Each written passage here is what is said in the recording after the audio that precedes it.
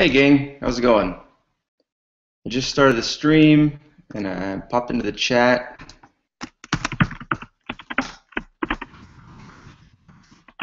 Welcome to session three. So I only see one person online in the chat right now, but what are you gonna do? So you'll see I have a different venue right now, and you might also notice that we have some whirring and buzzing in the background. I have the tree in our front yard being nearly removed. It's being trimmed so much. So I moved to a location where that won't be as much of a problem. But if you hear a little bit of it, meh, we'll be all right. So I'm going to go ahead and start off by sharing out our notes. And I've uploaded these to our Google Share. Okay, cool. Here you go. So, welcome to session three. As usual, I will post the link to the recorded video following the session. Uh, we didn't really have a whole lot in our chat last time. Uh, two students, I think, asked a question. Maybe it's just Patrick? I don't know. Uh, but the questions were addressed in the video and then addressed literally in the video, so I didn't see a reason to upload those logs. I'll go ahead and put whatever chat logs we may have, if there's anything substantive in those bad boys, to the uh, Google Drive. Okay. Uh, let's see. The first thing I wanted to cover is hashing. So I want to talk about what hashing is all about. Hashing is very important for multiple, multiple reasons. So uh, here in the document, you'll see I have a couple different links. I have one simply to hash function, and then I have another one for the most common type of hash, at least that you're going to see this day and age, which is the Message Digest 5, the MD5. And then I'll talk about why technically that is problematic and why we're moving on to something else, which is a different hashing algorithm altogether, which is the SHA-2 family of hashing. And I'll discuss why those are important. And then I'm going to show you some examples on how to actually do it.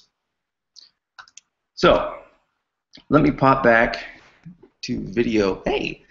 So one of the things that we face that's problematic in the digital age is when you try to prevent something as evidence, whether it be in court or whether it be to work, you know, regardless of this, uh, use that word again. When you provide it, one of the problems you run against is that people are going to come back and say, well, it could have been faked, or it could have been edited, or it could have been blah, blah, blah, blah, blah. And because, I mean, we live in the Photoshop age, right? Every time you see a, a picture on the internet, people's common response is, ah, it's photoshopped. Well, the same thing applies even more so with digital evidence. If actor A is going to bring a claim against actor B, and actor A says, oh, I captured this network traffic from this guy over here, this is the bad guy, my, this hand over here. I captured his traffic and I saw him doing really bad things. You take that into a court of law, and you provide the packet capture, and you say, here you go, this is evidence a. You know, I don't know how that works. And the judge says, okay, sure. And then the defendant, his lawyer, his or her lawyer, is basically going to run against a couple different things. First off, how is that traffic captured? And when we say how, we don't just mean like, oh yeah, I use Wireshark. Oh no no no. They they want to know every little thing about it. Another part of it is you actually are not allowed to use certain types of digital evidence if it's not captured in your daily standard workflow activities. So, for example, if I target that user because I think something may be amiss and literally I just think it, like I have no other evidence to point toward that, um, I can't even use that in certain states. But this is not a class on law, and to be honest, I suck with law luckily I don't work in the, the legal realm. I work in a company where I do, we do what we want. so it works out well. If we have to take anything to court with the company, then we follow a lot of different standards, which is one of the things I'm going to talk about right now. So aside from being attacked basically for how you gathered the evidence you're providing, another thing you're going to have to deal with is how is that evidence intact? So if you remember in session two, We've only this is the third one, so I'm pretty sure it was session two. We talked about logical evidence files. So logical evidence files is the default format for EnCase stuff. If you're not familiar with EnCase, it's like the, the de facto, it's the go-to, um, I guess, enterprise evidence collection utility, forensic forensicating tool, if you will, forensicating tool. Write that down. so Anyways, the reason that file format is very useful is because it has hashing built in. Hashing is a way to prevent tampering, well, not prevent tampering, but uh, prove tampering, I should say. So, well, let's just get into it. I'm going to bring up the article right now. So let me switch over to this guy. There we go. Hide my personal email.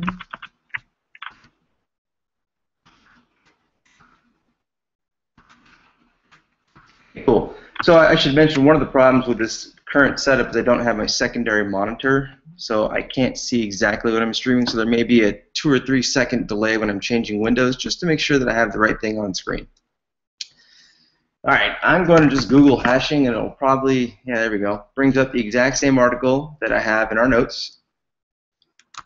And so this article here, it's it's this is what I consider the epitome of one of those YouTube, or excuse me, YouTube, uh, Wikipedia articles that just goes a little too far and doesn't just tell you straight out, simply, why is this important, who used it, yada, yada, yada. Uh, like many Wikipedia articles, people just like want to be a technical writer too much, I guess.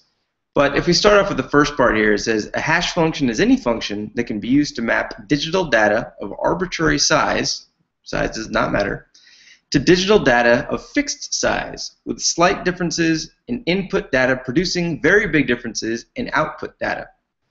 Okay, that's cute. And I can read the rest of that paragraph, but I'm not going to. So a hash algorithm is very simple. The hash algorithm will take and recursively run through a bunch of little sub algorithms. Will take a large data set or any size data set, excuse me, does not matter how big it is, not matter how small it is. So it can be a one terabyte file, or it can be a, a one bit file, literally just a one, you know. And what it's going to do is that the purpose of the hashing function is to provide a unique value. So if you're familiar with like chain block encoding, if you've ever taken a cryptography course and you're familiar with like CBC or something along those lines, think of that where the first sub-algorithm is fed into the second, which is fed into the third, which is fed into the fourth, and so on and so forth. The purpose of hashing is that regardless of my input, my output is always going to be a very unique, same size value. So let me give you, oh, actually before I do that, let me scroll down a little bit here. Oh wow, this article is long, oh goodness. Yeah, most of this just honestly confuse you up, up yeah. Look at this. Oh, wow. I'm reading through this part for the first time. Look at this horrible. Uh, what is all this? Oh, there's math. Oh, no. Yeah, oh, look at that. All right, if you want to read that, knock yourself out. Uh, let's just do it the better way. The better way. I'm going to switch over to Kali Linux, and I'm going to talk about, well, I'm going to capture a file, just randomly. I'm just going to capture something off my local host, I think. And then from there, I'm going to, well, we're going to hash it. So there are two common types of hashes that you're going to see. One is called the Message Digest 5, and another one is called the SHA. In fact, you know what? Let me, I fibbed. We're going to go back to this guy. Here, let's go to the top. Oops. Today. Well, Wikipedia knew what I meant. Cool.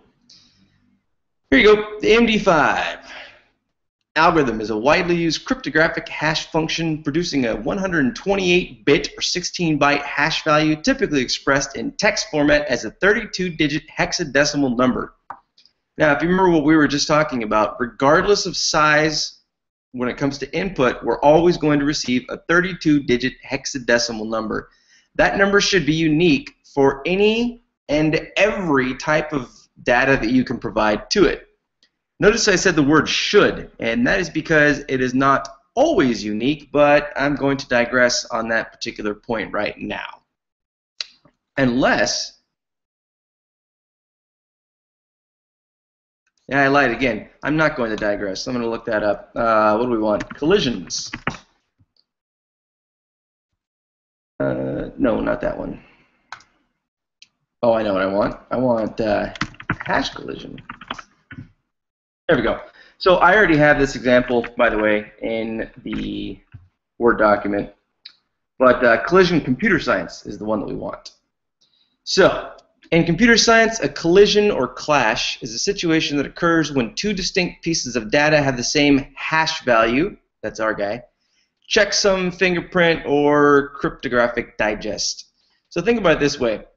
When you have a one-way algorithm, which, by the way, hashing is one way, you cannot revert a 32 character hexadecimal value back to your original input value, especially if it's like, I mean, just imagine doing that with a, a one terabyte input value.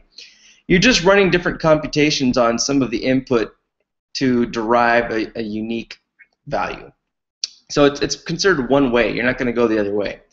One problem that you have when dealing with hashing is that one so the way that the algorithms work, I'm not touching that. If you've taken a cryptography course, you're probably already familiar with it. And if you're not, you can look up MD5 algorithm via Google or Bing if you're so inclined. But uh, and you'll find out exactly how it works. Good luck with that, by the way. It's a bit daunting at first, but it's once you understand it, it's a fairly simple concept. In fact, once you understand it and you're dealing with forensics, you no longer care about how it works. You just care about getting those values and putting them in your notes. It's pretty simple. Okay, so a collision occurs when the MD, well, the hash, regardless of the hash type, is the same for two disk-like inputs. Meaning, let's say I have a malware sample. In fact, here, I'm probably tired of staring at that screen, so let me just do this. Okay, let's say you have a, a, malicious software sample that you've pulled off of a host, or for that matter, since we're doing network forensics, right? A user accesses a malicious site on accident, redirect, email link, whatever, and they download a file. Whoops. And they open the file. Whoops. And your job is to find out what what's the file doing. I think in session one, I made that up. I think it was session one. This was either one or two, right? We talked about when a user executes malicious software on his or her host, Windows, Macintosh, and whatever. The the malicious software has the capability to alter itself, and for that matter, delete itself. So a common term for software that downloads additional malware from the internet is there's two different ones. There's either a downloader or a dropper. Basically the same thing, to be honest. When you go through malware analysis, essentially a malware uh, dropper is something that's a little smaller container file. It can even be shell-coded if you're familiar with that. That just executes on the host reaches out, grabs the real malware, and then typically deletes itself. So let's say that your user gets the second stage malware, and you are responding to an incident. And you're looking at this second stage malware, and you run the hash value for that, and you find out that it's uh, Zeusbot or something like that, or a little more insidious, something that's like brand new. Ooh.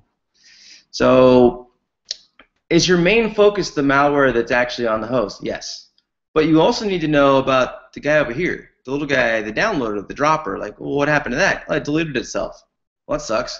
Well, that's why you have network forensics. You can go through the packet capture and you can pull it out. So when you pull it out, let's say you hash it. You run it through the Message Digest 5 Sum tool, which is uh, it's not a core util, but it's included in many, many different, uh, at least Debian-based distros. I'm a Debian guy. I don't, I don't like Red Hat. Hopefully, I'm not starting a war here, but I, it's just me. So I run MD5 sum and I get a hash value that's very specific to that particular sample. Well, let's just say that I search that on the internet and I find that it's been analyzed. I'm like, cool. I don't have to do analysis, or maybe I don't have to do as much analysis. Well, so that's that's what you want. You want to have a hash value that's unique to that sample. Fantastic. Unfortunately, a collision would mean that when you search for that hash value, you find what you think is that sample, but it turns out to be something completely different. So in order to find a collision, it's fairly simple. I mean, one thing you can do is just look at the size of the data that the uh, your result that you found. One site that's very handy for looking up hash values, especially for malicious software, is VirusTotal. I'm not sure if everyone here is familiar with VirusTotal, but if you do any type of malware analysis, this is going to be your best friend. You're going to be using it all freaking day long. But essentially, here you throw in a, an MD5 value or a SHA or any other type of hash. See right there, the first thing it's in gray in the background says hash. And it will tell you if it's been analyzed before. VirusTotal is an aggregation portal, if you will, for various different back-end engines for antivirus utilities. Meaning, I have a file and I want to know if it's malicious. In the old days, you would just go Google a file name. Well, file names don't really tell you much at all, especially since they can be changed by literally anyone. My three-year-old daughter has changed file names to my computer and confused me for quite a, for a good good amount of time. So, anyways, uh, file names, eh, you hash it and search the hash, and then you can see if you found the exact same thing. Now, say you search the hash and you see the size is the exact same size of the file you're looking at. You're pretty darn sure that's the exact same thing and that there's already been analysis. However, if you hash it and you find out that their file size is completely different, it looks like you might have a collision. Collisions with hashes are not common. They're very rare, in fact. And to be honest, there was, oh, I didn't have it handy. I, I'll try to look for it and put it in your notes. Let me put in the notes now for me to look at later. Uh, hash 5 paper. There was a technical paper published in the uh, one of the IEEE symposiums. It's available on the iExplorer, I think it's called, digital library, and it was basically forcing hash collisions to prove that they can be possible. And I don't remember what year it was, but it, it's the idea is they're so rare that a group of people had to come together in a lab and get a bunch of PhD math people together and hey, let's let's make this happen. So it's and it took them quite a while, by the way. It's not something that's just going to normally happen, but simply because of the fact that it does exist, another hashing algorithm has been taking over. So the SHA family of hashing is a set of cryptographic hashes, and there's different bit rates for them. So, or byte, byte lengths, excuse me. So there's 224, 256 is the one that you're going to see most often. And then 512 is the one that you're going to see second most often, and this is the one that's currently taking over. So some malware programs, or excuse me, like antivirus programs, will return an MD5 for everything. But most, for example, Symantec and McAfee both, now return SHA-512. So they give a different type of hash now. This was designed by the NSA uh-oh, and published in 2001 by the NIST as a U.S. blah blah blah blah.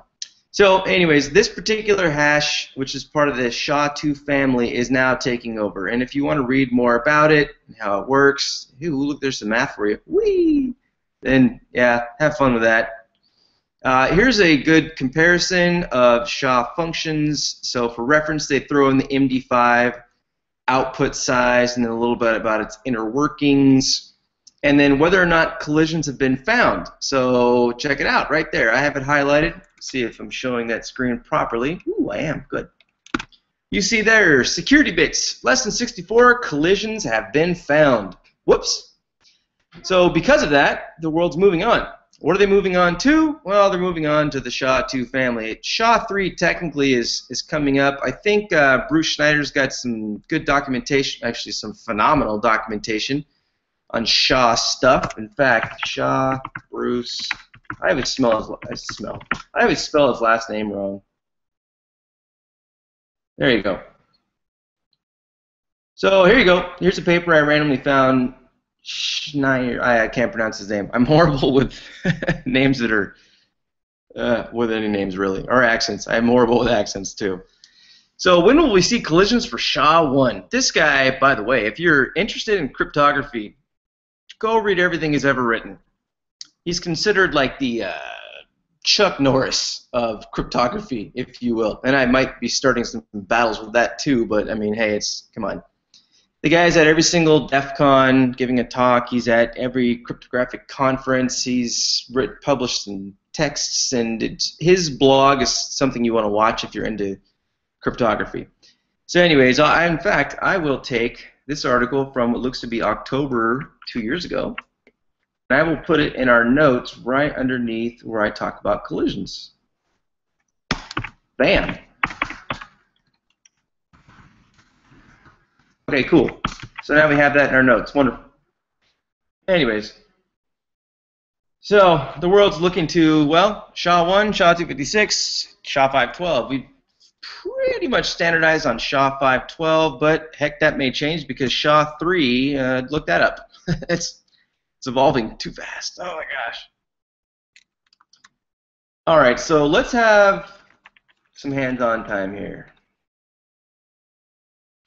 Okay, I'm gonna. I've been talking about hashing for a while now, right? So again, what's the purpose? You gather digital evidence. You're gonna be. You're gonna be attacked on, basically attacked on. How do you gather it? How was it gathered? Was it a standard scope? Was it a targeted thing? Was all this stuff? The other thing is like, did you Photoshop it? Right? Can you Photoshop a packet capture? You can't literally import it into Photoshop and uh, graphically edit it. Maybe you can. That'd be cool. I don't know. I never tried that. now I'm going to go try that. See what Photoshop does with that file type. But anyways, what you can do, of course, is pull packets out and put packets in to a packet capture. Wireshark comes with a suite of utilities. Uh, one's called Edit Cap for editing packet captures. Uh, there's plenty others in the, the binary, you know, the slash bin directory for Wireshark that you install. And when Wireshark installs, it adds its own directory to your path in Linux. It does not do it in Windows, which is odd. Uh, you can do it yourself, make it an environmental, you know, add to your path environmental variable. But anyways, so that you can just run edit cap and the other cap tools. I'm blanking on their names right now. So how do you prove that the data is the original data that you've captured? Well, one of the first things you're supposed to do is hash it. Hash any data you capture whatsoever, so that if it's edited at a later time, that hash will be completely different. Hashing will be 100% different with a single bit change in your input value. So let's take a look and do some live capturing here. I'm going to log into Kali. All right, and in Kali, I have a folder here for session three. Oh, I, I don't want that yet. Go away. Jumped ahead there. What am I doing? All right, let's let's do a capture. So we're going to open up Wireshark. Okay, so we have Wireshark. Let's see. Okay, we have Wireshark open, and I want to start capturing traffic on my loopback. Start. And let's do this. Let's ping my loopback. All right, in standard Linux, the fun stuff, when you do a ping, it just says, okay, I'm just going to keep pinging. it's just fun. It just goes and goes and goes. So I didn't specify a number of uh, pings to send. I just wanted some traffic. So I'm done now. I'm going to control C out of that. And then I'm going to go stop my network capture. So now I have this network capture. See? Ping, request, reply, request, reply. It's just me pinging myself. See, the source and destinations are the same. That's all it is. That's all it got. But I'm going to save this bad boy. I'm going to save it under, I guess I'll save it under session 3, random pcap. And I'm going to save it as a pcap. By the way, there's a pcap ng is pcap next generation. They've already changed the format. I don't know anyone in the forensicating or the digital forensic and incident response field, known as DFIR, by the way, DFIR. I don't know anyone in this field who's switched to using the NG type. I think we're all too set in our ways, and all of our tools are set to parse standard PCAPs. So I'm just going to save mine as that. And then close up Wireshark. Clear my screen. Go to my session 3 folder. And here we have random pcap.pcap.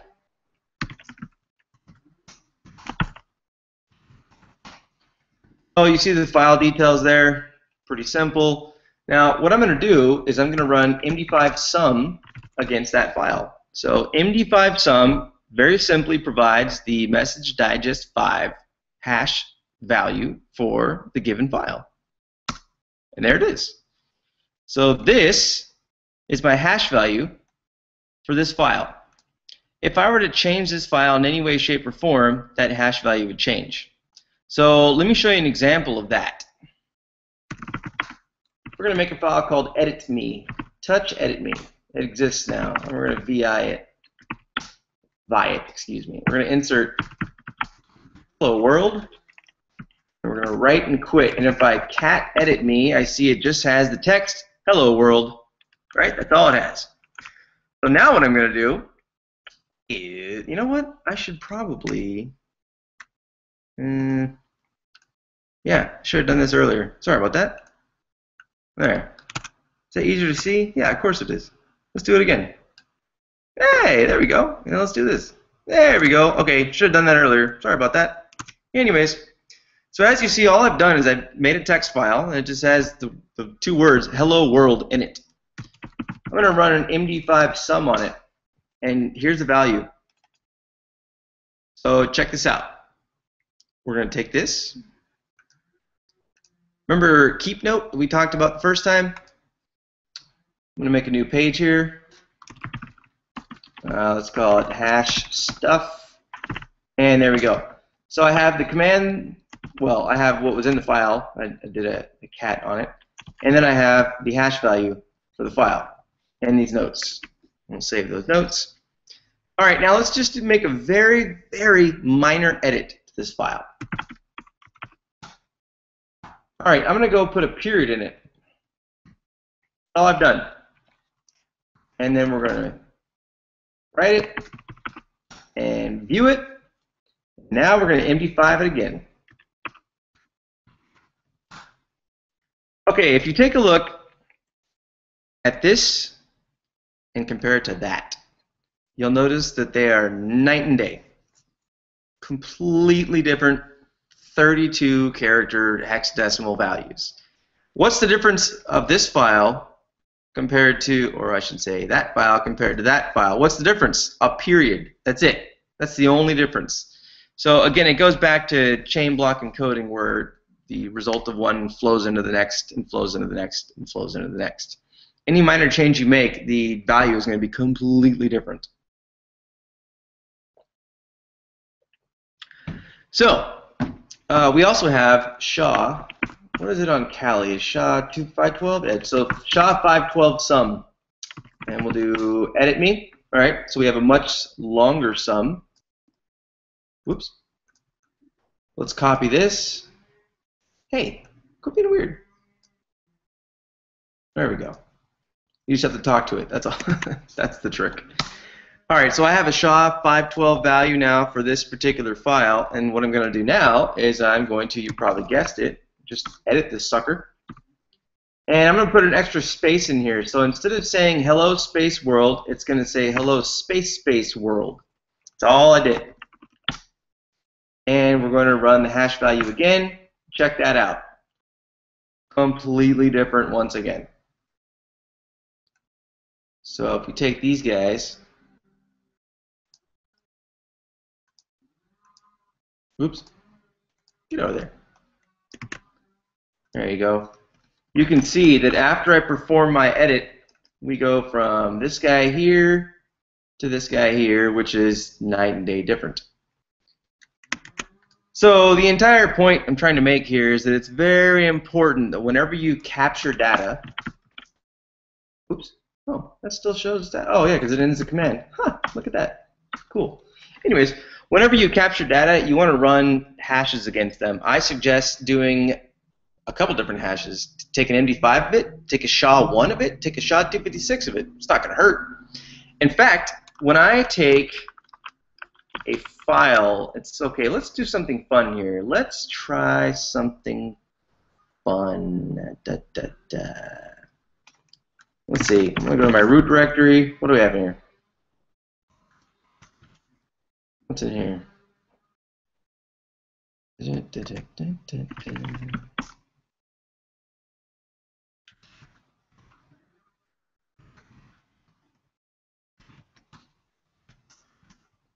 Alright, this is not working how I want it. Ignore that. I'm going to take a file over on... So I have a different virtual machine running, I think? No, I don't. I made that up. I just want something random that I can grab this? Oh, yeah, let's use that. All right, so I have this hash value for this file, init_rd. Let's pretend you don't know what this is. Watch this. We're going to go to VirusTotal. I think we're going to go to VirusTotal. Yeah, there we go. And search. File not found. So I still have no idea what that file is. I was expecting that uh, image to have a known hash value. Do over. How about this guy? Mm, these will not be in there. Oh, hey, this is what you get when you randomly run DriftNet, which grabs images off the wire completely randomly. You get a uh, Seinfeld representation of different superheroes. Some user on our team randomly was looking at this. I thought that was kind of funny. Anyway. Yeah, I don't have any good obvious files to show you. So I don't have anything really loaded on Linux to show you. So in that case, let's do this. All right, I'm doing stuff in the background here. Give me one moment.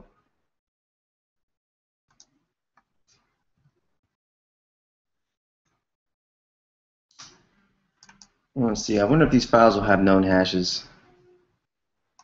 I'm trying to find a file that has a known hash, by the way. So See, some of these might have a known hash. Nah. No. All right, I'm going to. Uh, I'm right now. I'm in the background. I'm on my Macintosh computer here, and I'm running MD5. Which, by the way, on the Mac is just MD5. It's not MD5 Sum. And I'm taking an MD5 of the installer for a tool called Bulk Extractor, which is an awesome forensics tool that we may cover in session six. I'm not sure yet. And I'm going to try looking for that on VirusTotal. Hey, there we go. Check it out. So I took the hash from my computer, from the installer that I had in my directory for bulk extractor. In fact, it had the exact same file name. You'll notice I searched for the MD5, but up here, see this value up here? VirusTotal even categorizes everything now by its SHA-256. So as I mentioned that we're moving to SHA-512, well, right now VirusTotal it prefers SHA-256, but I found it using the MD5. So if you go over here to additional information and just scroll down, you'll notice it has the MD5, it has the SHA-1, it has the SHA-256. One of the problems with using SHA-512, in fact, one of the main problems right now, is that VirusTotal, which is the end-all be-all go-to tool for malware analysis and virus samples, if you will, doesn't support 512 yet. It'll search it if it's like in the comments or something, but that's that's not the purpose of the tool. It's to find out if it's already been analyzed, and so usually SHA-256 is the way to go when dealing with malware, or just the good old MD5. But anyways, let's pretend like the file I had on my computer that I just ran a hash on was not labeled, or it was labeled new tool install me.exe. And I was thinking to myself, well, what the heck is that? Why did I tell myself to, like, what? I just go in here and I would have found out, oh, oh, okay. And if I go over here to file detail, it gives me some more information. And I'm going to digress on analyzing the file specifically, but if I scroll down, you'll see that all the different antivirus vendors, they all have a little green check mark here saying, nope, you're good, no virus, no worm, no Trojan, no whatever.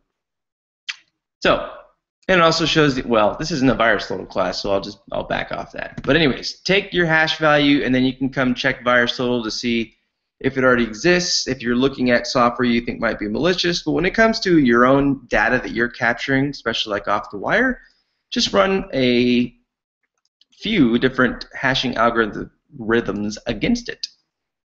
Oops, go away. Get out of here. All right, what's next in the class notes? Let's switch our... Oh yeah, any questions? I only see one student in the chat room. Chat's not working very well. or maybe everyone's just watching this after the fact.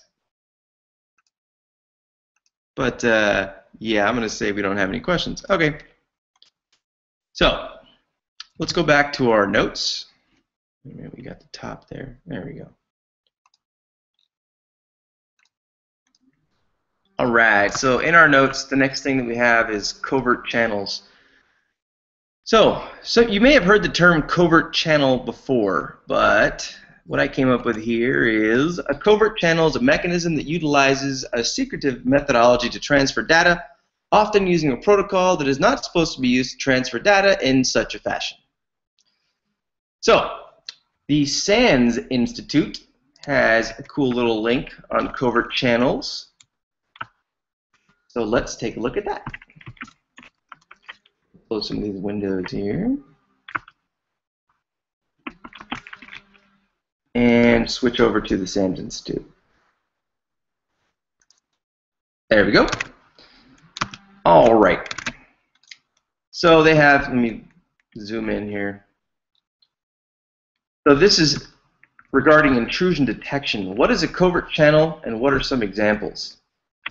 So their definition, a covert channel is a simple yet very effective mechanism for sending and receiving information data between machines without alerting any firewall and or intrusion detection systems on the network. So I won't read the rest of that. You can read this on your own. Basically, I wanted to point you to this article because it's, it's very well written, but also just to kind of show you that this is something that's being actively researched. Let's see, what year was this particular article written? Oh, there's no year. What? Well, that's silly. Maybe I'm just blind and not seeing it. I don't see an actual publication year. I could check the page source, but I'm already over it. So, meh. A covert channel, and if we look up Wikipedia, is simply using a channel that's not typically used to provide a certain type of information to provide a different type of information. So let me give you an example. Uh, I'll start with weaker examples and then grow a little stronger.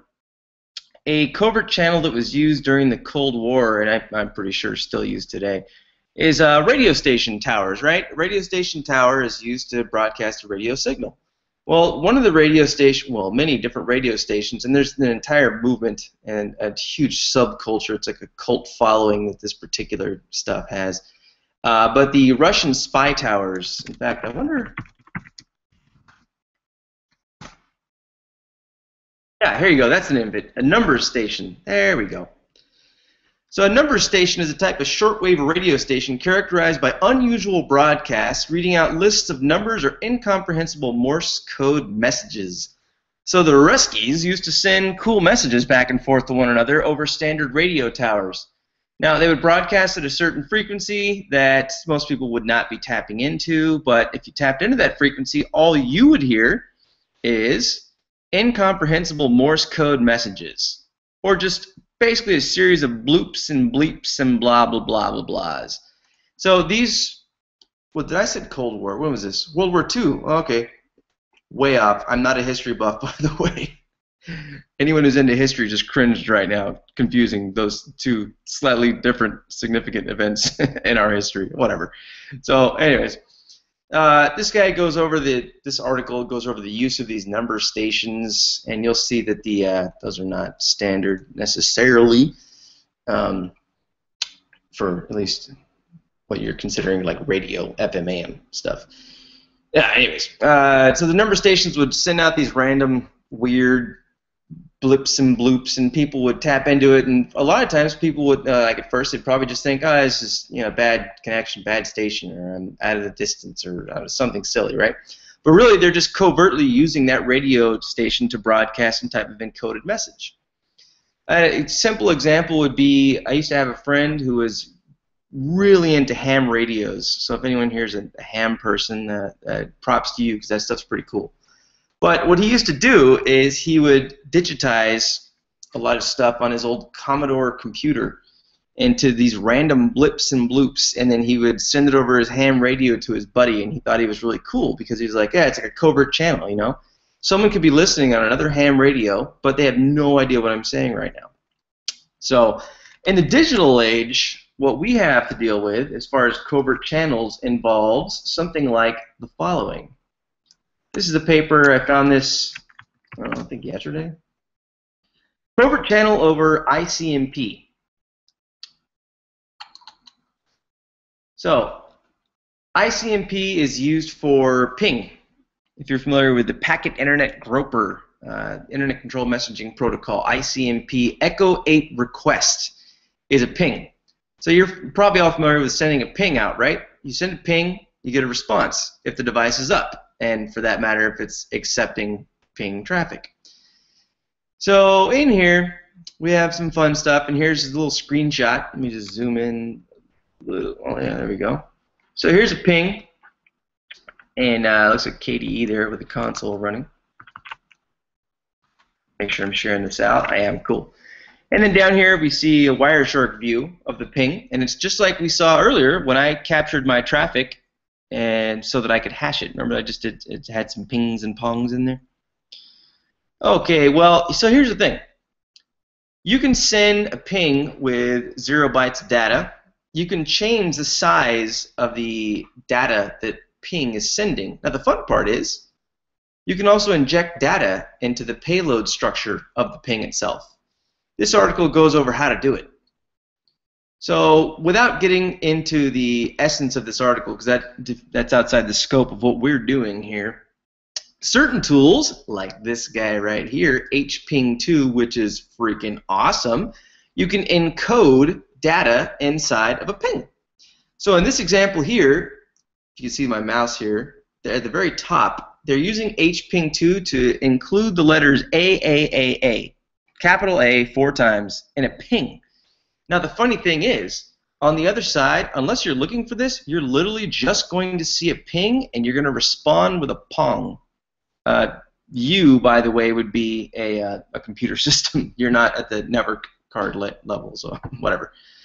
But he basically Pythonized something here so that you could include more data in your pings. And for that matter, you can include data split up over multiple pings so that on the other side they think they're just getting pinged maybe 30 times by a remote host, maybe for connectivity testing, but really you're sending data. And other tools on the other side can then decipher that data. So that's a covert channel because you're sending regular looking pings, but really you're sending data encoded within. So that's what a covert channel is all about, and we're going to somewhat tap into kind of the idea of covert channels as we move into reviewing the session 2 assignment. Let's do that now. Let's change the screen. Okay, so for, I guess you could say homework, for the assignment, for the challenge, we had levels 3 and 4.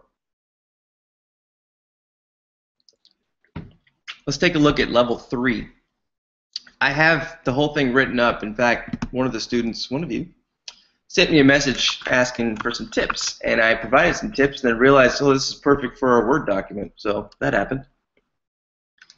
So let's just open up level three and let's go through it. Now, everything that I'm going to cover is in the Word document. I'm pointing at my computer because I have it up over here. But you can follow along with that, follow along with me, both, whatever. Let's switch over my screen now. We're going to move to back to Kali Linux. There we go. All right, make sure I'm sharing it. Yeah, okay, cool.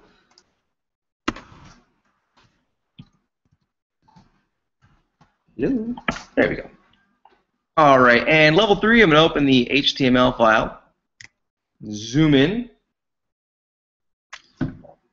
Level 3. Gregory is hesitant to meet with the mysterious Betty. While working late in the office, Gregory hears his phone ring. He checks his phone. He soon realizes that he has no choice but to attend the meeting with Betty. So you are to use the level 3 packet capture to answer the following question. What will Gregory die from if he fails to meet with Betty? So it looks like Betty is doing a little threatening over here. So we open up the level 3 PCAP. Double click.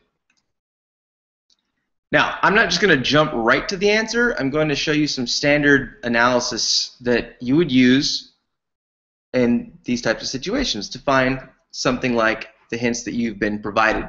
So we're going to work through it in that type of fashion. The Word document goes directly into the answer, but I'm going to do a little more than that right now. So I have my notepad open for level 4 notes, and there's nothing there. See? Delete that let's take a look here. We want to reopen the HTML file. And as you remember from one of the sessions, I think session two, I talked about taking notes.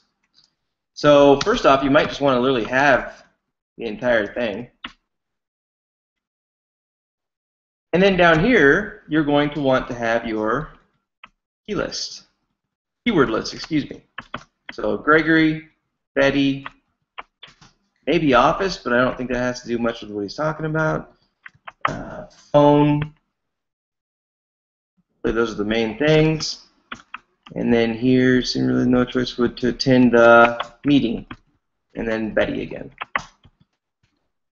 And what will Gregory die from? So die is a good one. If he fails to meet Betty. All right, this would be my original list. And if you go into level 3 PCAP and you start looking for these by just doing a control F, which by the way is the same as going to edit find packet, see right there, control F. And then to find data inside the packet itself, don't forget that you change this to string, and then you look in the packet bytes themselves.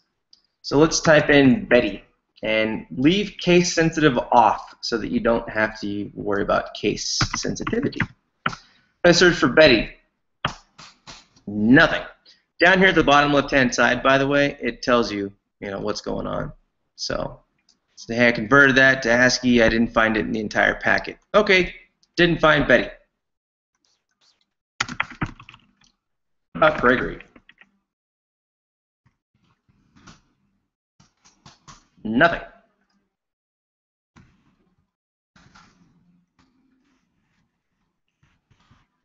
All right, office phone, die, meet. Office. Hey, there's something. What's this?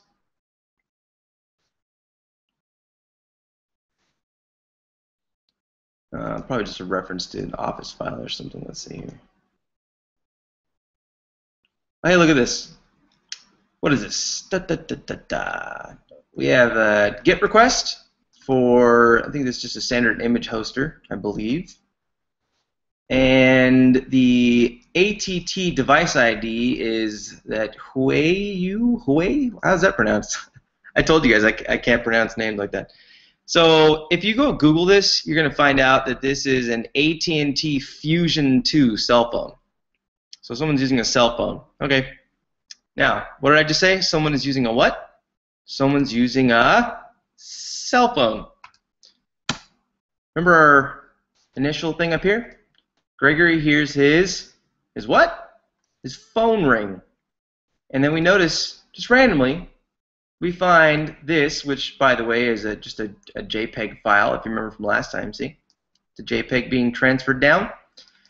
But transferring a JPEG on his, or excuse me, on a phone. We don't know if this is Gregory's, but I mean, if you put two and two together, you might think that's his phone. So here's something we'll do. We'll take this and go to our notes, and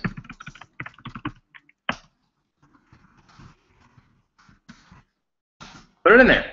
And then you would literally take this right here and let's just say go to Google and search for it. And what do you find? Well, you find pictures of it. And the first thing you see is AT&T Fusion 2 and the model number support from AT&T.com. Here's a good place to go. So you know it's an AT&T Fusion 2. So, and heck, you can even take this.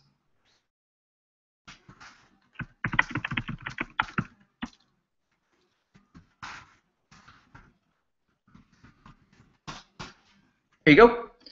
So you know that this traffic has some uh, traffic where the client is an AT&T Fusion 2 phone. Okay. And if I scroll up and down this, I see that here's a bunch of JavaScript, and I yeah, whatever. Let's see, does Office even come up in this? No, it doesn't, so it's just part of the packet decoded. I didn't see anything there that looked obvious to me, so anyways, you could struggle through this and keep searching for stuff, but I'll tell you what, you're not going to find it that way. So if you remember one of the first things I said you should do really is get a feel for what you're dealing with. So I go right here to Statistics, Summary, and when I go to the summary, I see when the capture was taken, and I see how many packets are in it, 5,705. Cool.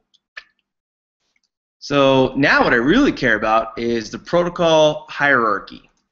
Oh, you know what? I'm sorry. Hold on. I, I apologize. Let's go to endpoints first.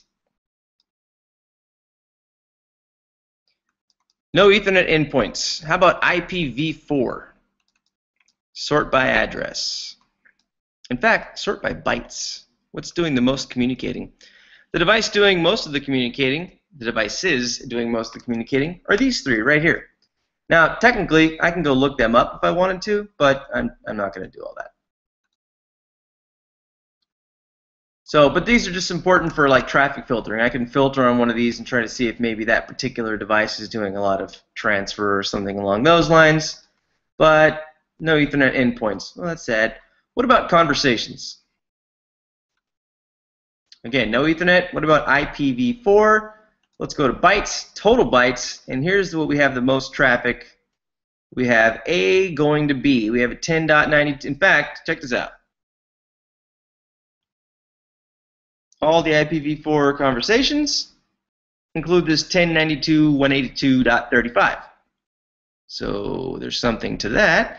And then they're going to be, and the most packets slash bytes went out to 173, 194, 24.118.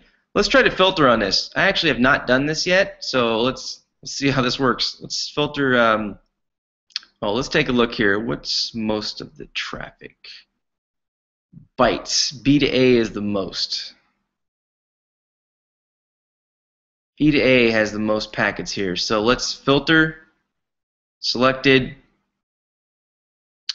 B to A. And see what we get. All right. I have some stuff. What is this? I don't know. Let's find out. Follow TCP stream.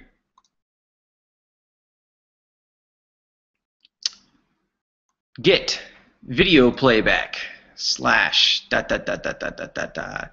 If you look here, it looks like a YouTube video. So that's pretty simple actually. So the device goes out to YouTube. YouTube then sends back what looks to be a video. Looks to be a video because I see the file type here, and this is telling me it's a video. And here's some additional indicators this is a video. I could carve this video out if I wanted to, but I don't because it's just a YouTube video. Then again, maybe I do, right? Well, I don't know. What am I looking for? I have no idea. Well, right now I have no reason to think that I need to look at a YouTube video. I could have reason. I could hunt that down. I could pull it out, but eh, not right now. So what I really want to go to is protocol hierarchy. And in here, what are you looking for? You're looking for everything. It's not very long. Look, I mean, we almost can fit the entire thing on one screen. In fact, if I just take frame out of the picture and scroll down, we see all the different types of protocols that are involved in this traffic. Everything here is right here. So IPv4, TCP, SSL, hypertext, what's that? It's MMS message encapsulation. MMS, what's that? Well, let's come back to that in a moment. Line-based text data, what's that? That's just silliness is what that is. Media type, JavaScript, more SSL. Good luck with SSL stuff without certs. PNG files, graphics, you know, pictures.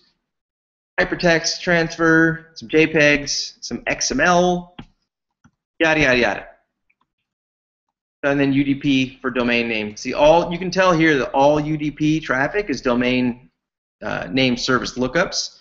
Because when you look under packets, you have 34 packets, and then for domain name service, you have 34 packets, which tells you, hey, all the UDP is DNS.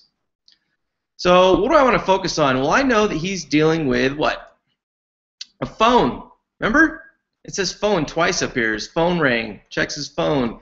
In the traffic, I randomly identified that someone is using an AT&T Fusion 2 phone. So when I go back over here, if you're not familiar with the protocol, look it up. I'm going to filter on MMS message encapsulation. But before I filter on that, let's say you didn't know what that was. So hopefully you would look it up. MMSE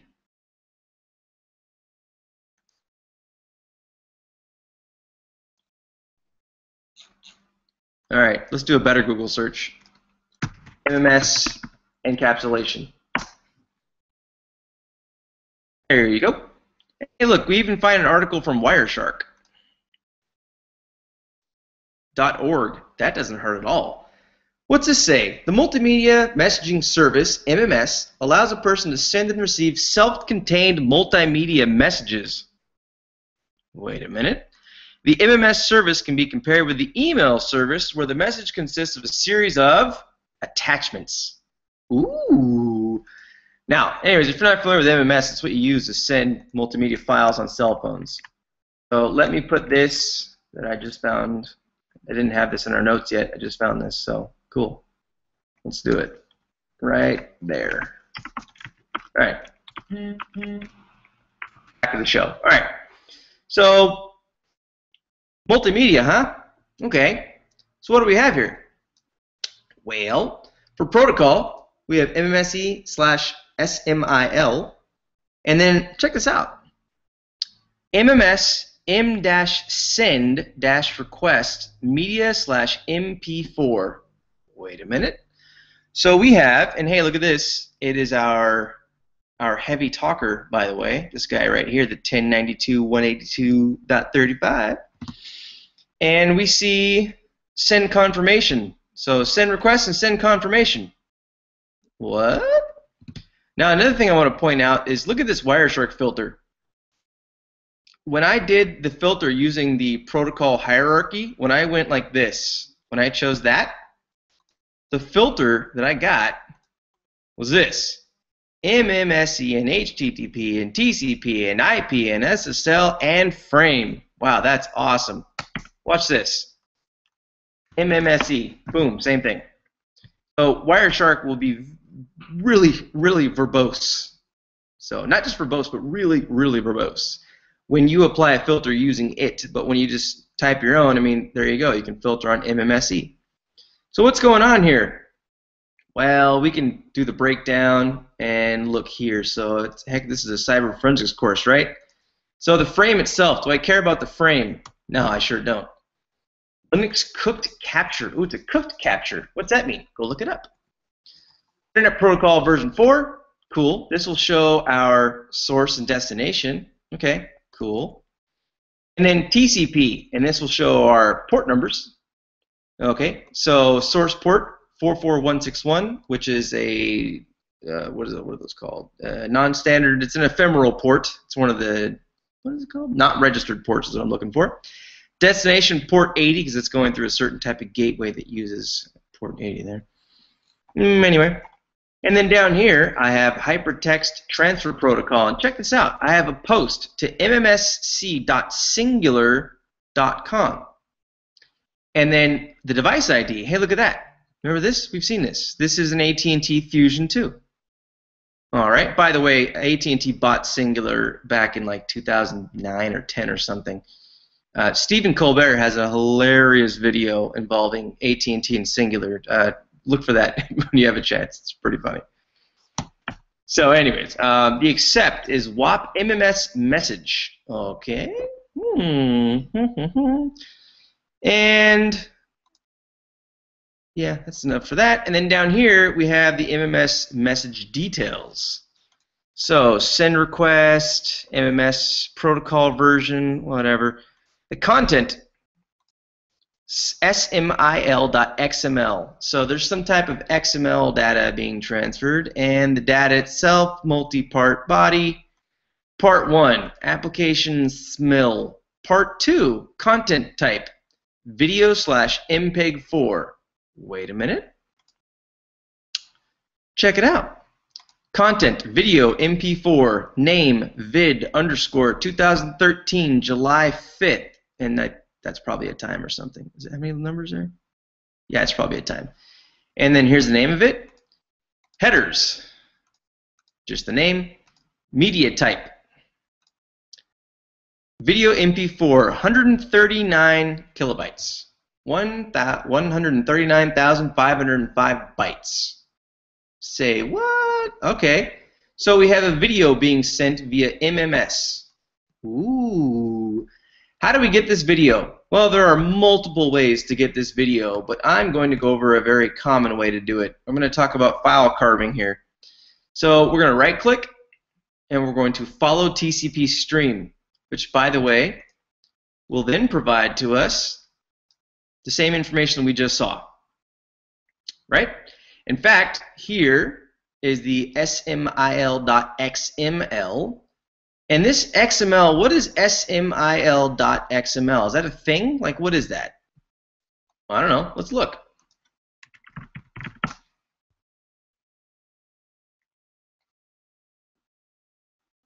Hey, check it out. It's actually a thing. So, I'm going to be 100% honest here. I had no idea this was a thing until I just realized I should look this up right now.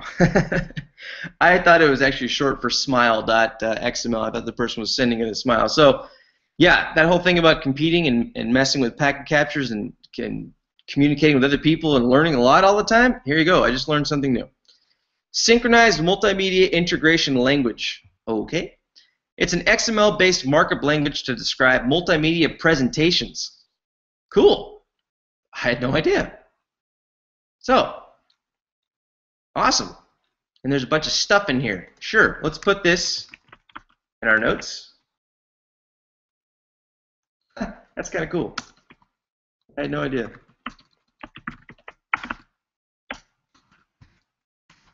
All right, cool, cool beans. Okay, anyway, so we have this smile, the smil dot XML. And then what else do we see here? There's a video source, okay, and then duration. How many milliseconds long is the video? And then all of a sudden, after the XML stuff ends, we have this stuff. What's this? And I scroll down. Looks like a bunch of gobbledygook. Well, yeah, it's because it's video content, which is compressed, so you're going to have a high level of entropy. If you remember last session, we talked about entropy. And then down at the bottom, we have the response. Message accepted. Cool. So what do we do with it? I need the video. I want it. I want it. How do I get it? We're going to carve it out. Down at the bottom, we're looking at the entire conversation right now. I can look, however, at different sides of the conversation. So let's say I just look at the side that's sending data to our heavy talker. It's only 147 bytes. What is it? It's just the 200 OK and the message accepted. That's all it is going through a WAP MMS gateway. If you're not familiar with WAP, it's what cell phones use for MMS gateway stuff. So look that up later if you want. Man. So this is the reply. Well, I don't care about the reply. I want the video. So I go over here to this part. Bam, there we go. So everything here, I think this text, pretty sure it's red. Again, I don't know colors, but it's normally red and blue, so I'm going to say this is red. So I want to save this. How do I save it? Well, down at the bottom left, I have a big button that says Save As. Cool. All right, and I want to save it as level 4 dot bin for binary or level 4 dot blob or level 4 dot whatever or anything. It doesn't matter what you name it because we just have a blob of text right now. So typically I we use bin in the field for binary data that doesn't have an actual type at this point. And then I'm going to minimize and close and close and minimize and close. Um, yeah, close them all. So I have this file now, level3.bin. Okay, what do I do with it? Well, I want to look at it in a hex editor. In Kali, I've installed what's called bless. You literally just run apt-get install bless. I mentioned that, I think, session one or two, one of them. So when you run bless, you then go to open, and I can go to, oh, there it is. It's already in my recent files, level 4 bin, and you open it. What's in it? This stuff. All right, by the way, I don't want to throw you off because I'm using Bless. So if you're using any other hex editor, I don't care what it is, just open the file. Level 4 .bin is what I named mine. Whatever you named yours, just you know, open it in a hex editor. Doesn't matter what you actually are using. They all do the same stuff.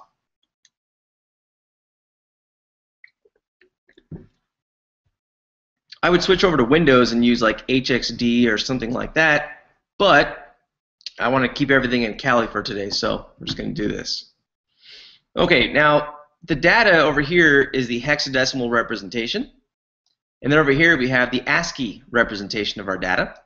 So again, we see the post value, we see our AT&T phone, and if you scroll down to this area here, you see where the SMIL document stuff ends, and we have some stuff about the video. So I know that I have an MP4 file, and I want it. I want it. How do I get it? I carve it out.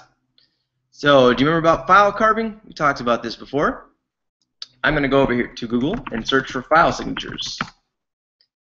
And it takes me to Gary Kessler's site.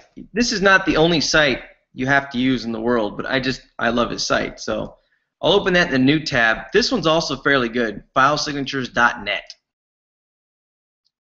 So I want to search by the extension or the signature itself. I want to search by extension.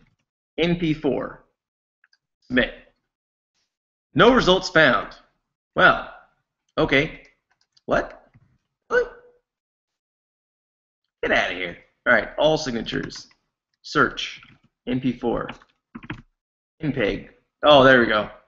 Okay. So there you go. And on Gary Kessler's site, if I do a search for MP4, bam. On the file signature database, if I do a search for MP4, I get nothing. Absolutely nothing. Why not? Well, I don't know. They just didn't include it in their, uh, what's this field name, description. I think that's a bit silly that you can't search by that particular extension, but whatever.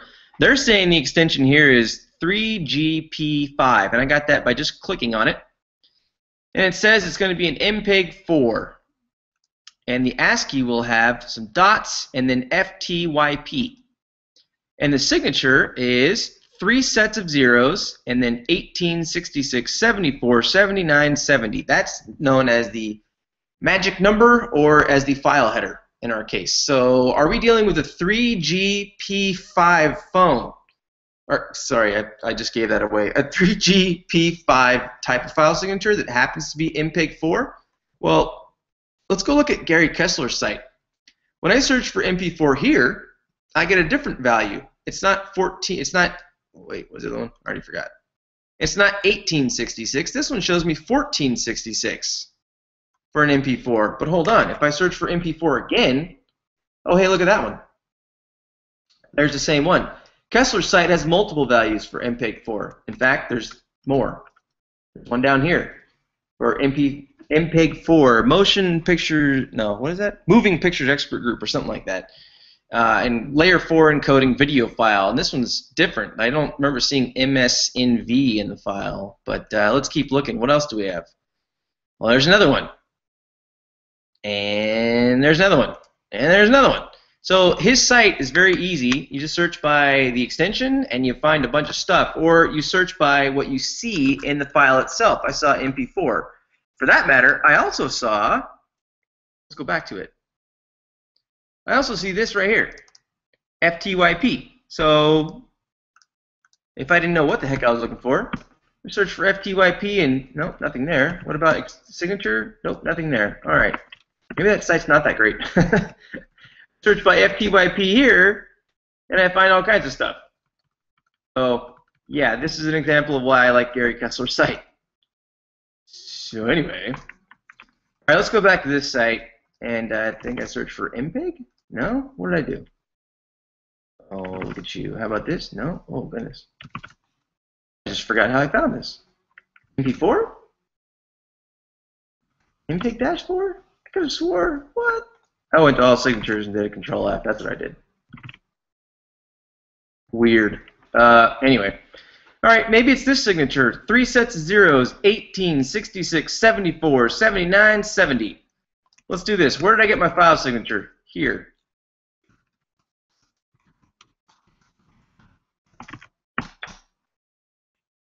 And what is the file signature that I found? It might be for this type of video that we're dealing with. May or may not be. I don't know. Okay. Oh, let's see if I have this. Three zeros, 1866, 74.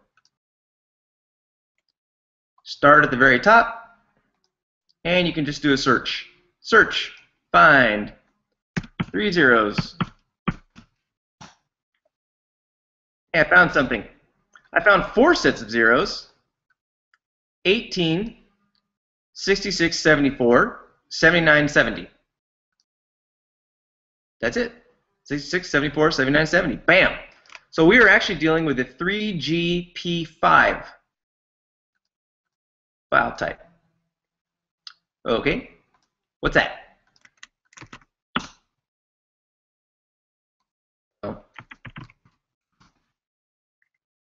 Oh look, it takes me to that site. That's pretty funny.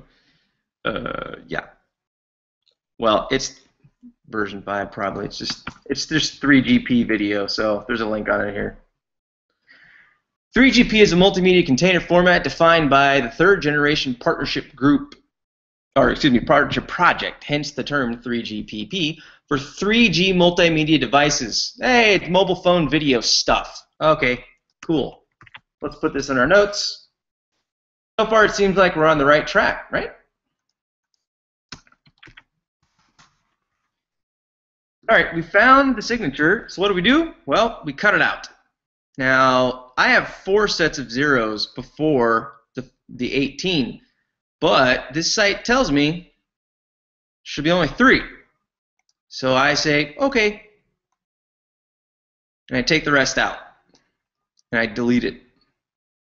Oops. One, two, three. Yeah, there we go. All right. So now my file starts with three, zero, three sets of zeros, 18, 66, 74, 79, 70. File, save. Not enough free space on the device. What? Uh, where am I saving to? Well, that, that makes no absolutely no sense. Uh, do over. Desktop.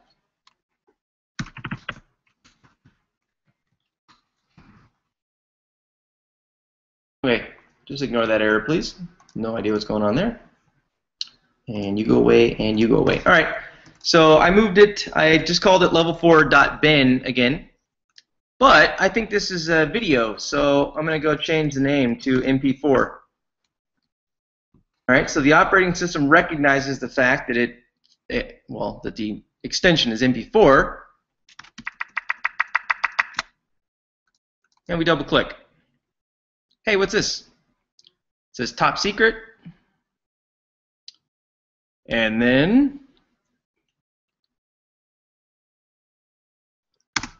I'll pause it right there. And then you see someone holding a pen pointing to a picture from an old game called The Oregon Trail. If you've never played that game, you should go play it. It's one of the best games of all time.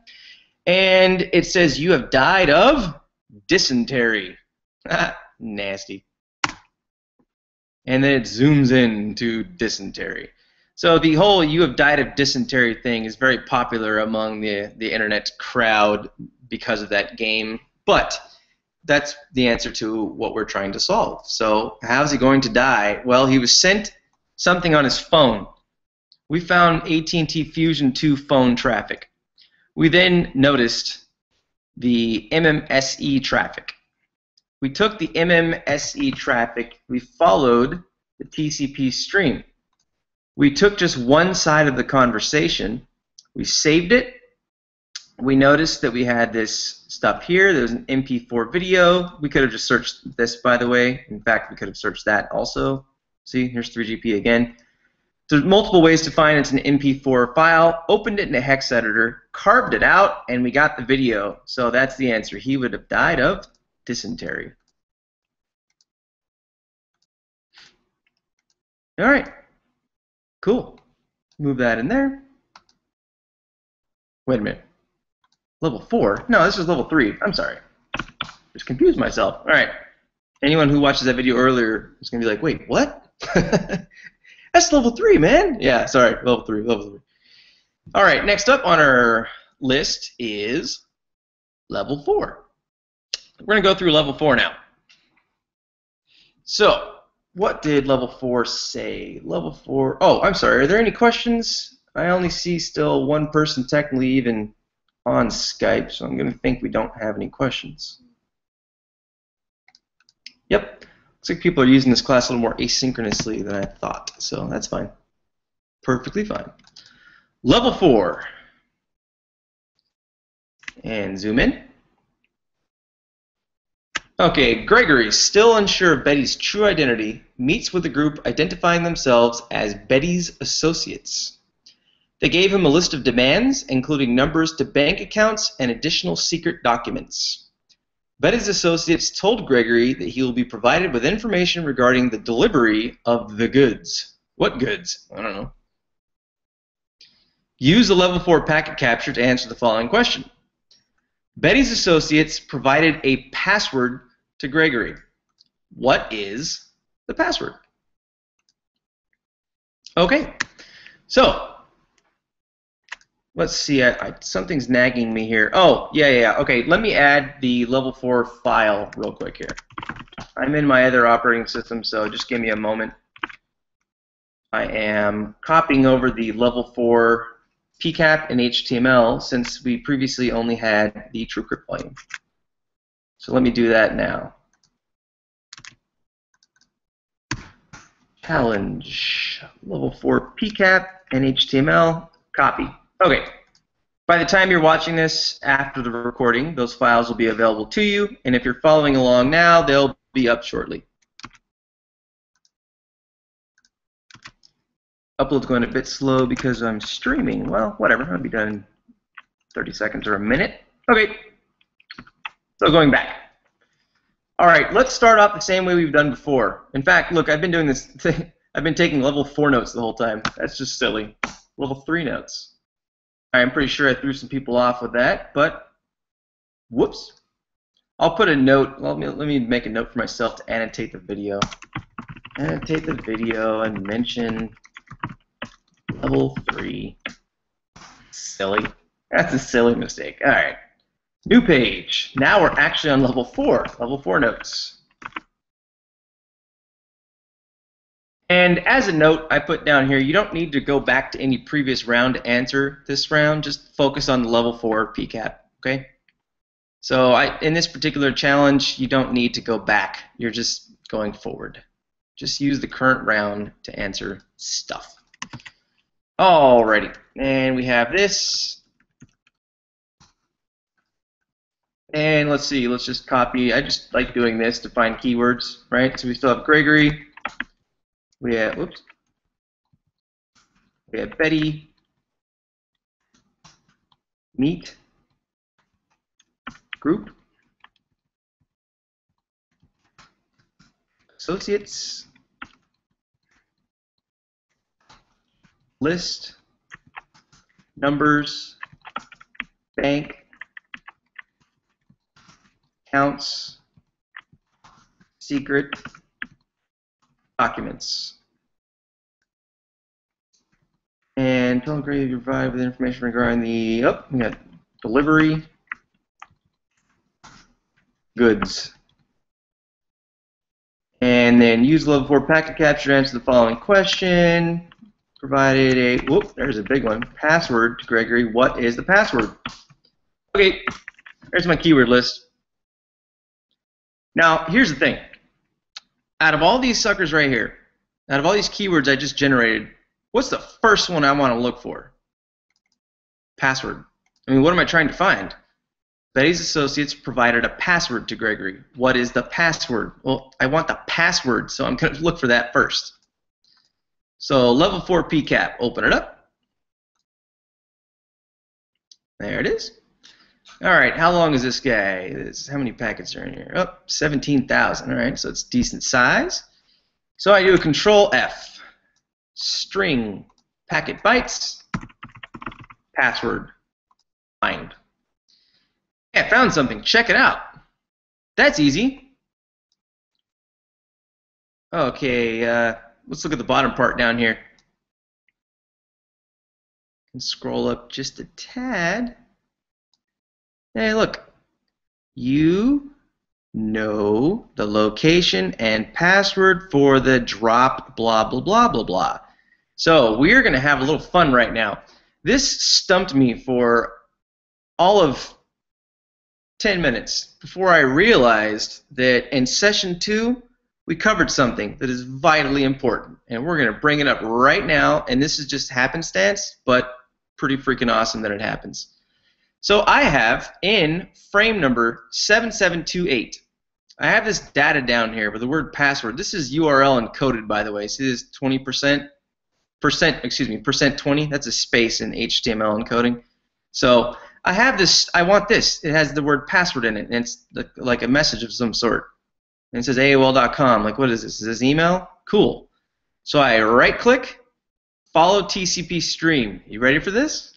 Watch what happens. I get TCP stream equals 7. And look, starts at frame 7728. Well, it doesn't start at frame 7728, but frame 7728 is part of it. Right? Okay, perfect. So when I follow the stream, what do I get? I get a post to AOL using, looks like Firefox, an old, a really old version of Firefox. We're like 32 or 33 right now. 13, awesome. And what is this? Well, looks like AOL email to me. But I can scroll up and down here. That message that I found is nowhere in here. Why not? Well, I don't know. I cannot answer that question. I, I can I cannot technically answer the question, but I can tell you what's happening if that makes any sense. So AOL email is XML formatted. It does this XML HTTP request and it re retrieves the AOL email. Wireshark has been able to decode AOL email for I don't know how freaking long now. Uh, so and you see down here references to mail.aol.com. So here's my confusion. I see nothing in this entire message here that I see down here. So what's going on? Look, there's there's an entire message in here. If I scroll down, let's see, we have some HTML. Da, da, da, da, da, da. Here we go. Uh, you made it. We should see a concert. Okay, what? There, I want this message. I, I want it. How do I get it? Well, I'm confused right now because what I should be able to do is follow TCP stream. That is supposed to work, and it's not working. Why not? I don't technically know. But here's what I do know. I can still get it. If I look down here, I see the data that I want, right? All right, well, let me just copy it. Edit, copy. I don't want the description. I don't want the field name. I want the value. So I copy the value.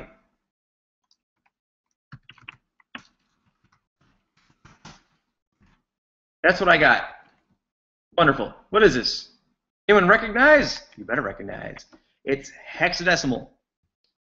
This version of Wireshark won't let me copy the ASCII. The value that it wants to copy is just down here in the hex. Well, that's annoying. What about down here? Can I change this? Well, that's just on the one packet. Well, that's that's silly. I want this stuff down here. Decodes TCP and nothing above it. What? Why are you doing that? I don't know. I don't know why that's this. This is uh, this is wonky. Is officially what this is.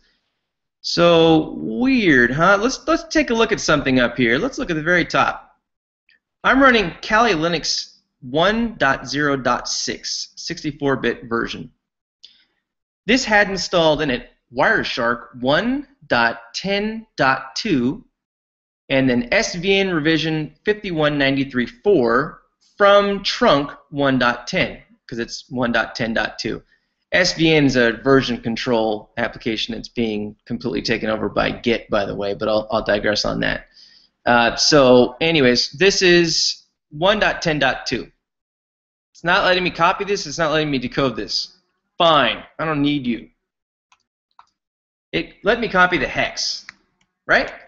We've done this before.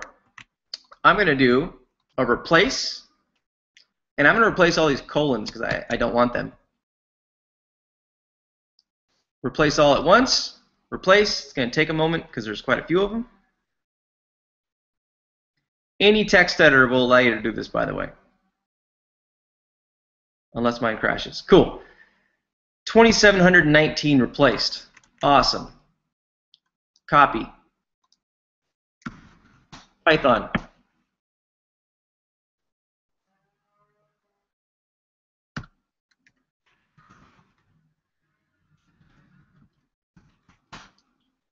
Decode the hex in Python. How? You provide the string dot decode hex. We've done this before.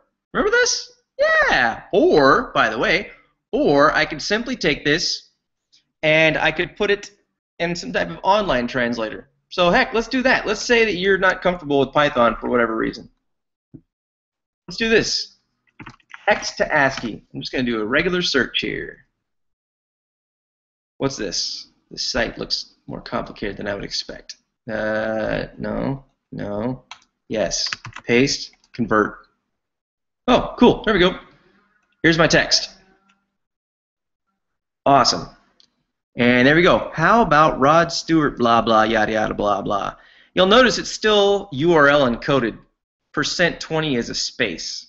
So I need to un-URL encode this bad boy. I wonder if this tool, hey, look at this. This tool actually takes, this is handy. What is this? ASCII2hex.com. I like this. I'm going to put this in our notes. Ain't this something? Ain't this something? All right, check it out. I just decoded it. It gave me the text, and then look down here. It already put it in this box down here. I wonder if this works. Convert. Oh, maybe not. Uh, okay, that didn't work. I thought it was going to work. Oh, well, wait a minute. URL encoded. Yeah, that's URL encoded. So decode it, buddy.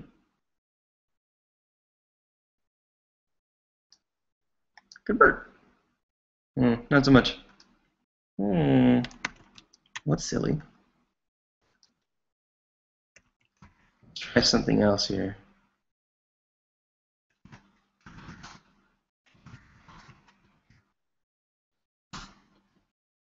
URL decode encoder. Decode.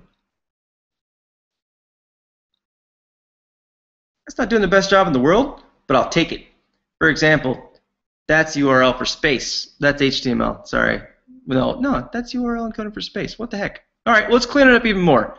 Let me review real quick because I went kind of fast there. So what did I do? I don't even know. What, what did I just do? Okay, I copied this by going to Edit, Copy, Value, which gave me hex. I then went into LeafPad, any text editor will do, and I replaced all the colons. I then went into Python and I just put the string dot decode hex. That's all I did, just just that guy right there. And then I got this, which is URL encoded. I also did the same thing using that online utility that I already forgot the name of, ASCII2hex.com. So I went over here and I put it into hex. Whoops, wrong version. Well, anyways, I put it into hexadecimal and then it, it gave me this URL encoded thing. And then I went here to the URL encoder decoder and I hit decode. And then I got this. This is still not exactly what I would like. So let's take this into LeafPad. All right, so what's annoying me is this right here. This is actually supposed to be a space, and slash in is supposed to be a, an, uh, a carriage return, or excuse me, a new line. Technically, it's a new line. Um, so I want to replace these, and I want to replace the other one. So here we go. Let's do a replace. Replace what? I want to replace in. Oh, you know what? I'm not sure this is going to work in LeafPad. Yeah, that doesn't work in LeafPad. Uh, LeafPad's a bit, a bit trivial for this. Well, I can at least do these. I want to replace these with a space. There we go. All right, and then I want to replace this new line with an actual new line. So you can do this in Python. I'm just going to cheat right now, and I'm going to go over to my other hex editor that you can't see right now, and I'm going to do this.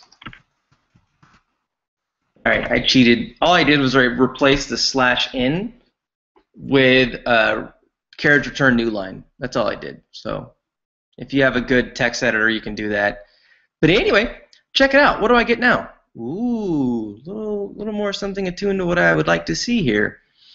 It's an email from Betty Swindle at AOL.com. Swindle, that's funny. To Death Merchant at AOL.com. Subject: Dinner and a show. Cool. And then we have some standard HTML, and it's just text formatting, and then here we have our message. It's encoded. I'm so happy you made it. In fact, here, I'll just do this so we can see it better. There you go. I'm so happy you made it.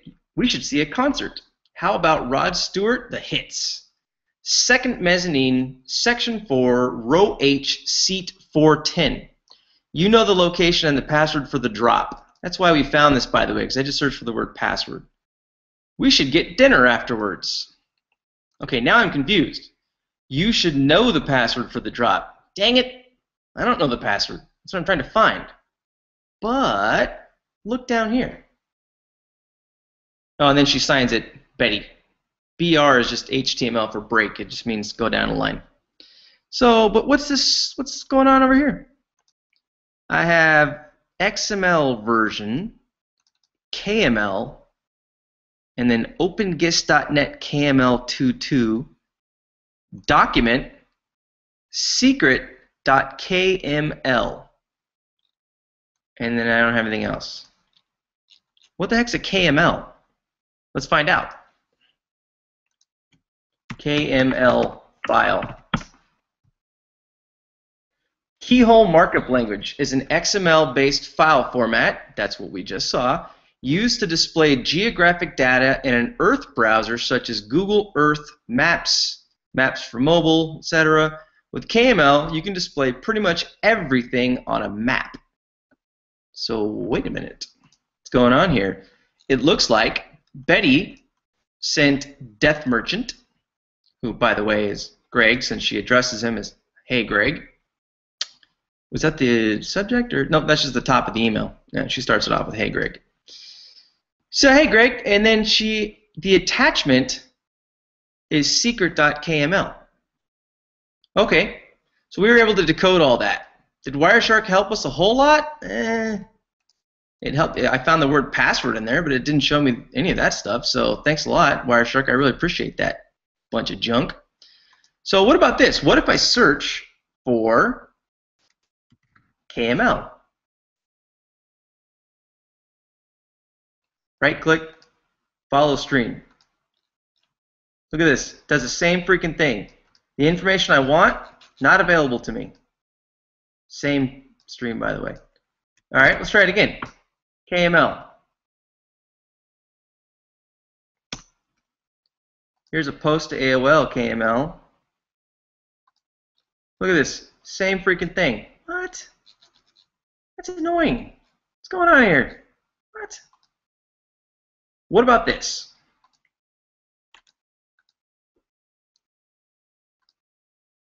What about last session I talked about the importance of dual tool verification. This is I, I'm telling you this is literally just happenstance. I did not plan this, all right? But we have a packet capture with an email that Wireshark is not properly parsing. There's an attachment to this email called secret.kml. I want that attachment. I need that. I'm using Wireshark 1.10.2. Okay. Uh, what if I try this? What if I try to update Wireshark? I was actually going to try something else, but I just thought of this. This can't hurt.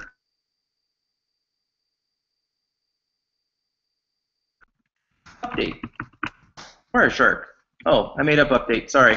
Wrong tool. I'm doing everything wrong. Hold on. I'm failing. What is the freaking? Oh, it's already the newest version anyway. Whatever. That's me failing at apt-get. Sorry, everyone. So, I already have the newest version. That's weird, right? What's going on? Let's try something else now.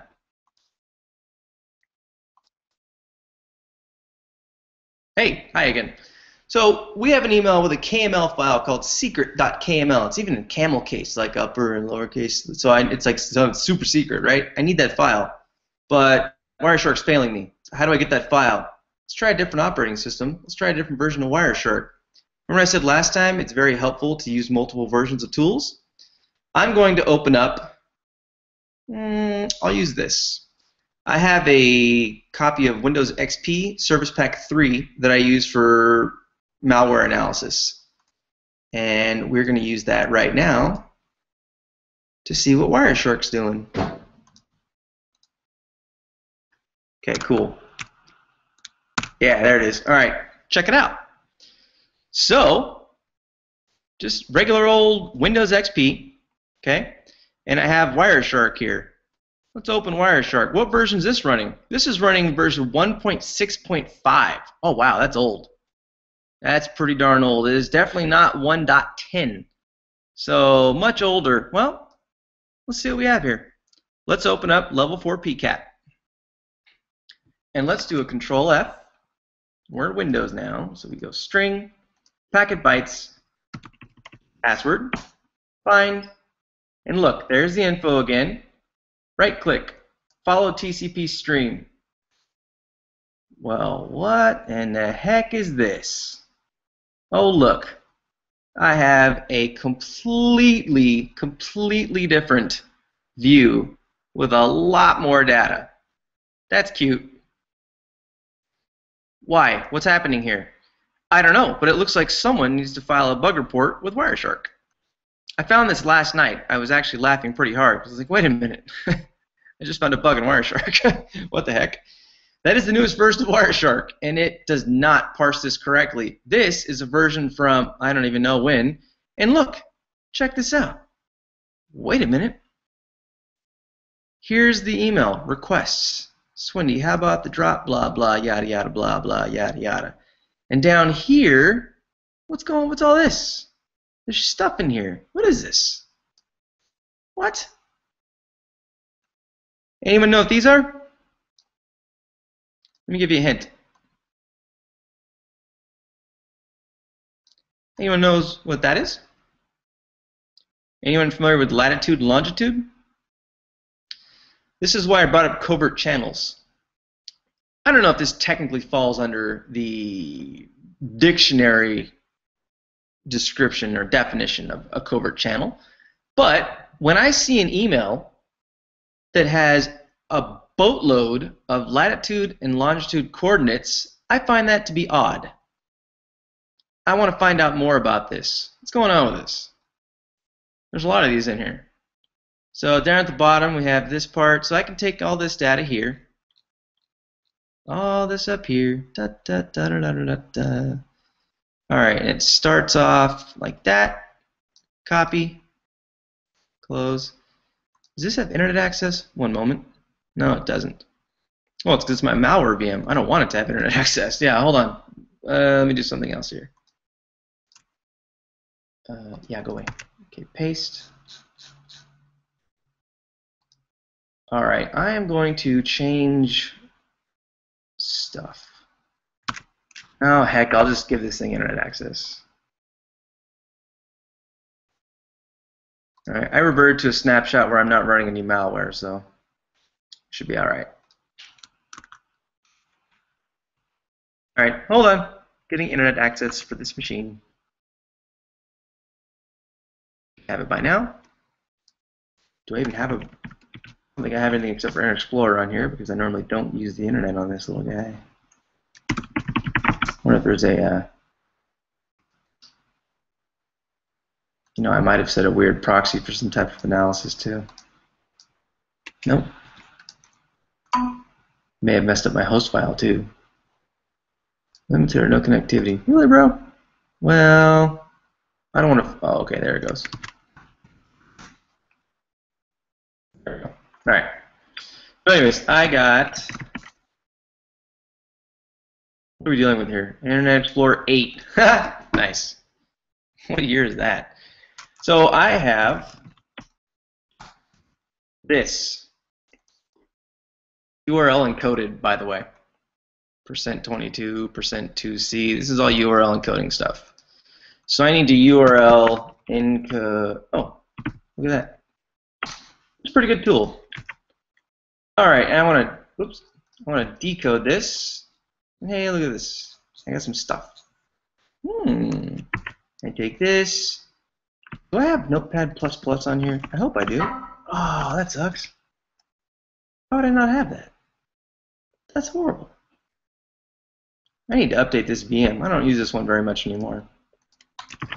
Well, whatever. All right, so I did some URL decoding, and now I have this stuff. Problem is, I'm still not going to get the best view of it, and I still have a bunch of stuff I need to clean up, like that right there. So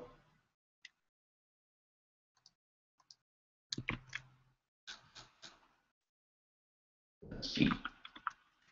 Let me show you a better text editor.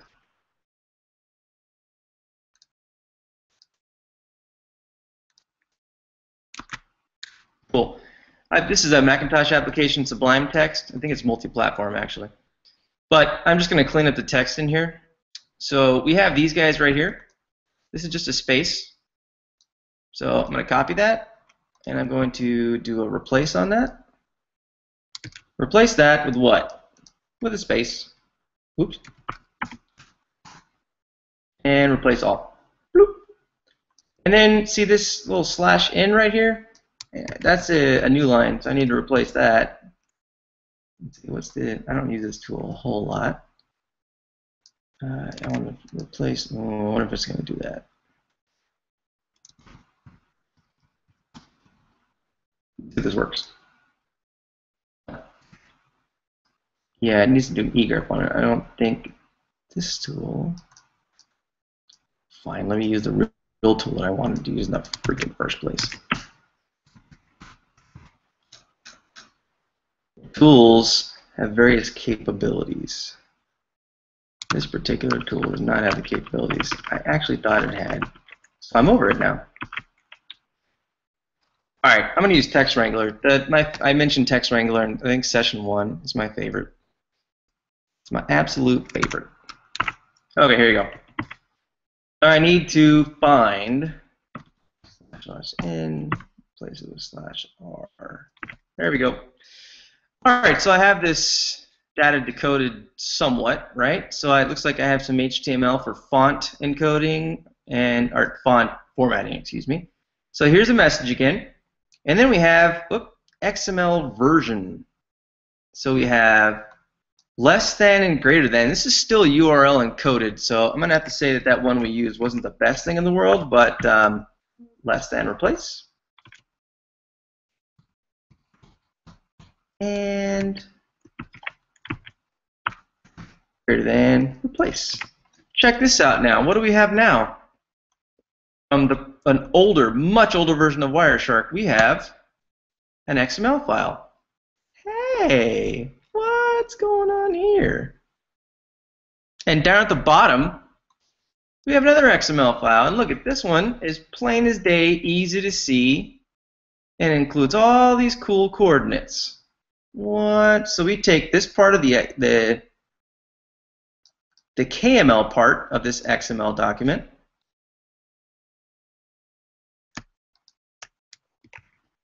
Make a new document. Save it. Uh, let's just make a temporary folder here. And let's see, what are we doing? Level 4 dot uh, KML. Save. All right, we have a KML file. Let me show you another way to get this KML file. Let's see, where are we here? Multiple tools, right? Let's try another way. If you remember, I told you guys about Network Miner early on. And I said try to avoid it because it try to avoid it if you can at first because it'll give you answers like that but if you're struggling at all, use it by all means.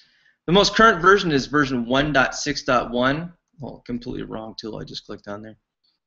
And I think this is, yeah, this is 161. And so I take the level 4 PCAP and I drop it into Network Miner.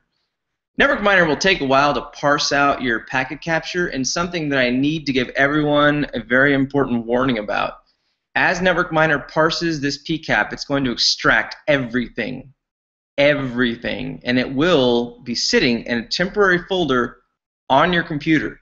There's a reason I only use Network Miner in my malware analysis VM. If you have malware, malicious software, or anything malicious whatsoever, and a packet capture, and you open that capture just to look at it.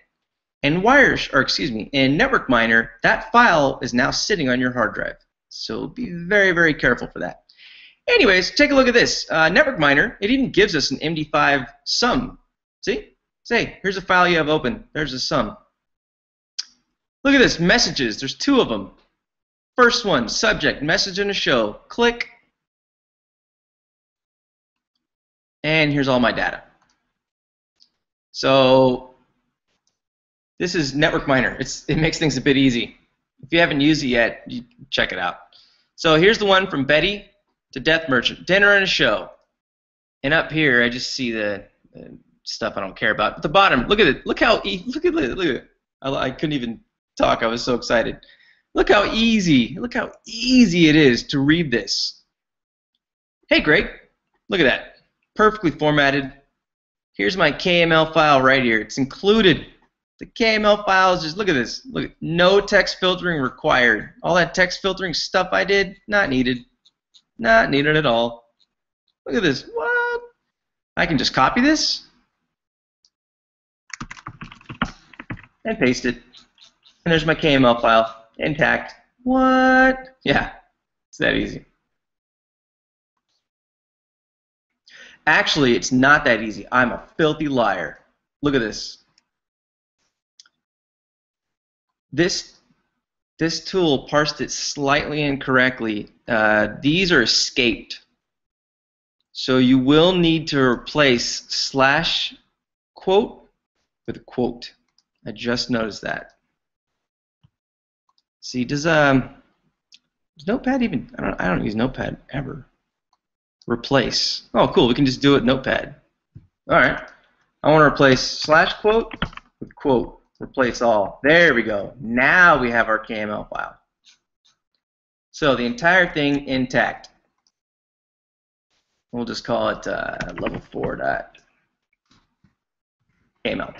And again, what is a KML file? Well, a KML file is something that should be used with Google Earth. That's what it is.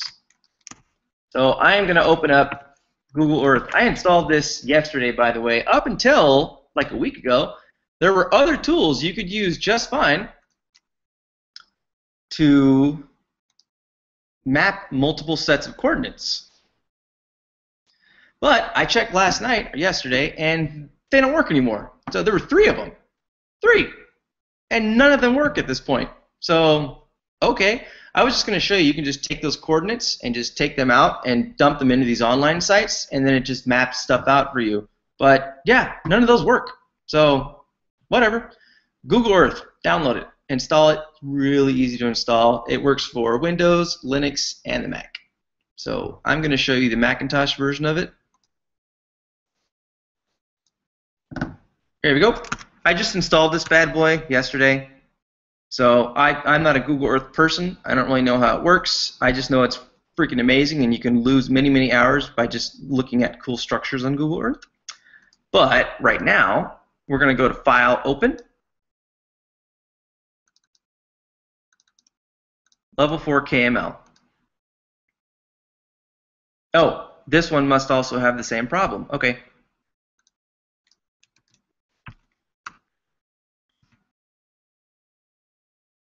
Let me edit this bad boy. Whoops, that's not what I wanted. Okay, there we go. Uh, yes, so can you see this? No, I'm in the other screen. Okay, hold on. I'm just removing the slash. Can't talk and type apparently. The slash, the escaped quotes with regular quotes. So let me just replace that with that. It's all save. Okay, and you should be able to see this now. All right, and here we go. File open. Before KML and we get the cool zoom in effect. Uh, check that out. What? What's that? So we see this is our mapped coordinate information. This is what I refer to as a covert channel. There's an email with a KML file attached. You open the KML file, and the KML file actually doesn't just map out a coordinate or set of coordinates for locations that are fun to visit, but rather we have a password. So let's see. I suck at Google. I, need, I want to zoom way out. How do I? Okay, and then I want to go like this. Nope, I'm like this.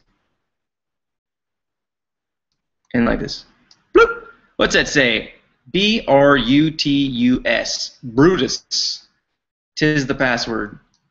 If you zoom in, the building's kind of get in the way. or that building. What is this? Uh,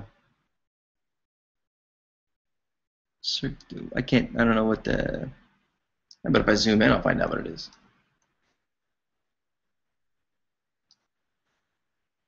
Holy heck! How much can you zoom in, man? That's crazy. What?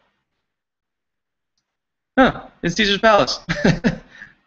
that is. That is really weird. okay. Anyways. Wow. So I've never used Google Maps. Now I really need to. So anyway, there we go. Brutus. That's the password. Bam. Done.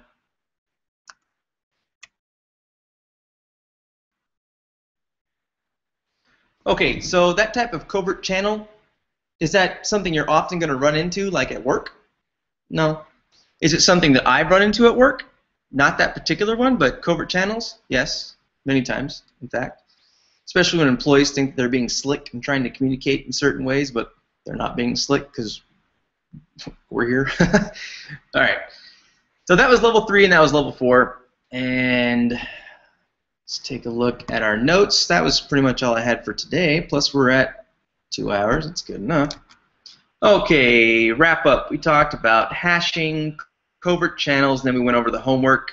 And I went over level three and four and tried to go a little slower than I did the last session with the on the first two sessions. So I tried to get a little more step by step, at least on the video.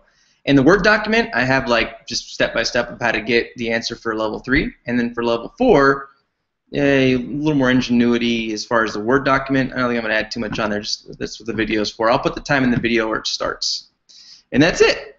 So I would ask if we had any questions in the chat room, but no one's even chatted in there today at all. So yeah, I'm gonna call that one a wash. All right.